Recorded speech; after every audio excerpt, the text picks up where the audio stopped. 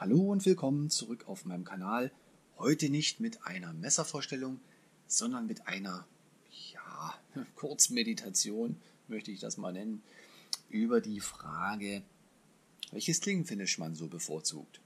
Und ich kann mich da immer so gar nicht, am Ende gibt es für mich selten den Ausschlag, sein Messer äh, wirklich ins Herz zu schließen oder zu sagen, das geht gar nicht. Das bleibt beim Händler. Oder es muss mich schnell wieder verlassen. Also das äh, mache ich eigentlich nicht am Klingenfinish fest. Aber ich weiß ja nicht, wie es euch damit geht. Wie gesagt, es sind ja ganz unterschiedliche ähm, Sachen. Also ich fange mal mit dem leicht aversierten bei mir an und das, ich habe da wirklich, ich ringe da immer mit mir. Ne? Auf der einen Seite sieht es toll aus, auf der anderen Seite finde ich es nicht so praktisch. Und das sind wirklich polierte, polierte Klingen. Das ist, ähm, das kann seinen Charme haben und seinen Liebreiz entfalten, aber ich komme damit nicht so richtig zu Pass. Also poliert ist schon mal so eine Sache. Hm. Was sehr gut geht, sind äh, so leicht mattierte. Also wir haben hier das Böker Tech Plus, wen das interessiert. Ähm, ich schreibe das alles nochmal in die Beschreibung, glaube ich. Das Kaiserlieb, das ist dann schon eher meins. Und zwar hat das so eine leichte, eine leichte Mattierung. Das, ähm, also leichte Satinierung muss man wahrscheinlich sagen. Ähm, das kommt mir eher entgegen. Das äh, funkelt dann nicht ganz so wie ja, man fühlt sich das so wie eine Bordelltür, ne? also nobody führt das mal im Mund. Ähm, Grüße an Lars. Ähm, ja, das ist schon eher meins, muss ich sagen. Das ist schon eher meins. Äh, was in letzter Zeit bei mir ziemlich ähm, häufig den Weg gefunden hat zu mir, ist ähm, Stonewashed in unterschiedlicher äh, Ausprägung. Das hier ist schon ziemlich konsequent. Äh, gedimmt, möchte ich sagen. Ja. Das ähm, hat auch den Vorteil, dass man ähm, die Gebrauchsspuren da nicht ganz so hat. Also bei polierten Klingen ist das, das sind mal schneller die Kratzer zu sehen. Hier ist das relativ, naja. Naja, ähm, es hält sich in Grenzen, um mal den Satz zu beenden.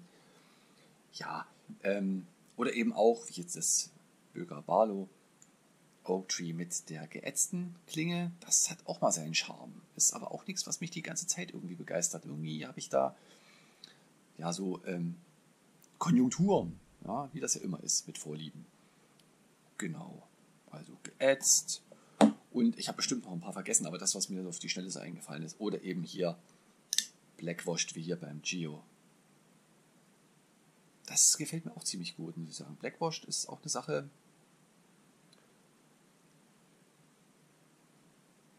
Aber wie gesagt, mit polierten Klingen, das ähm, muss ich ehrlich gestehen, ähm, ist nicht wirklich meins. Da komme ich nicht so richtig hinterher. Ich kann auch nicht genau erklären, warum. Vielleicht ist mir das auch zu unpraktisch, was für die Kamera hält, weil ständig irgendwas blitzt und blinkt. Bei anderen Messern ist das meistens nur der Anschliff sozusagen. Und hier ist es das komplette, komplette Griffstück, Griffstück, Quatsch, Klingenstück. Mein Gott, man kommt schon völlig ins Schwimmen.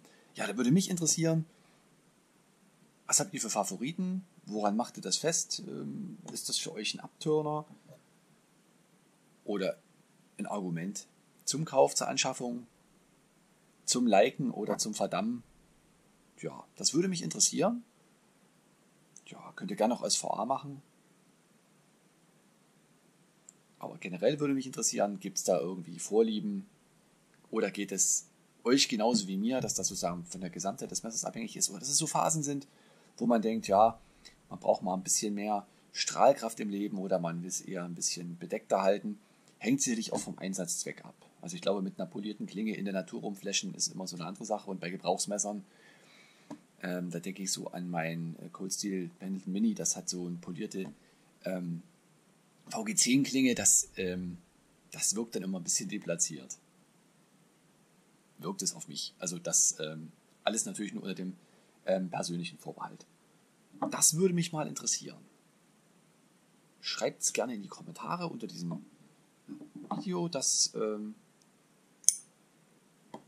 würde sicherlich äh, meine Sicht der Dinge erweitern und ähm, da habe ich ja immer Interesse dran, zumindest mühe ich mich redlich. Ja, genau. Das wollte ich hier nur kurz mal in diesem Video anfragen.